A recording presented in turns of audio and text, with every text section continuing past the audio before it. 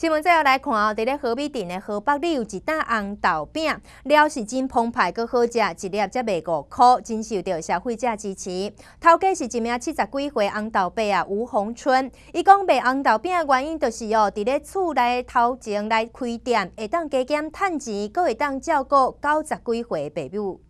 河美镇河北里的林长吴洪春，正咧准备红豆饼的制作，伊所使用原料拢是真材实料。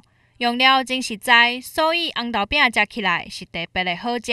除了当地居民会来交关以外，也有外地民众也会专工来买。哦，很好吃，但味道有那很绵的感觉。嗯，而而且红豆样哦，超好吃的。而且你如果晚一点来的话，一定买不到。哦。哎，会买，不然你会白白跑一趟。所以要买的话，要趁早赶快来买。其实上受到民众肯定的。除了红豆饼料好实在、真好食以外，吴凤春当初想要卖红豆饼，也是为着照顾厝内面的爸母。伊的爸母即马拢已经九十几岁，所以伊就伫厝的头前卖红豆饼，就当拿做生意，拿照顾爸母。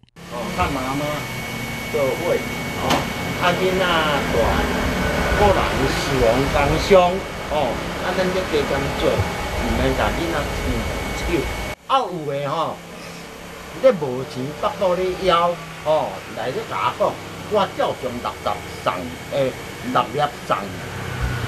红豆爸卖红豆饼用料真实在，一个才卖五块，真受到消费者的欢迎。另外上可贵的就是，这红豆饼毋但好食，也阁有满满的好心。多种化新闻综合报道。